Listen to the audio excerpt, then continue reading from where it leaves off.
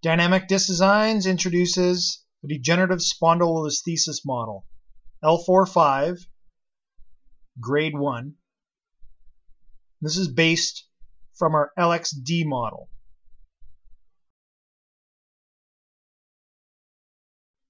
Some of the anatomical features associated with the model includes a one-part intervertebral disc with significant disc height loss, a thickened ligament flavum, facet hypertrophy, which has been known to cause the degenerative nature of a spondylolisthesis, a narrowed spinal canal, which is often found with this type of spondylolisthesis, unlike lytic pars, in which the spinal canal is preserved.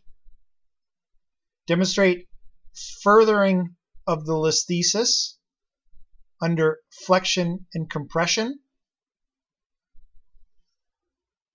Use this model to help your patients understand the nature of a spondylolisthesis and how nerves and other associated structures can be the pain generators.